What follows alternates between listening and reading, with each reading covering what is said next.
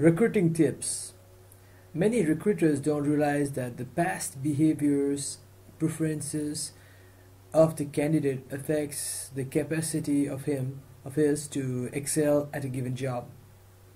For example, uh, for a sales job, this kind of past is better. I'm a flirt. In college, I used to practice pickup lines. I used to ask random people to chat uh, with me. Rejection was part of the game. For account job, I like to sit on my own.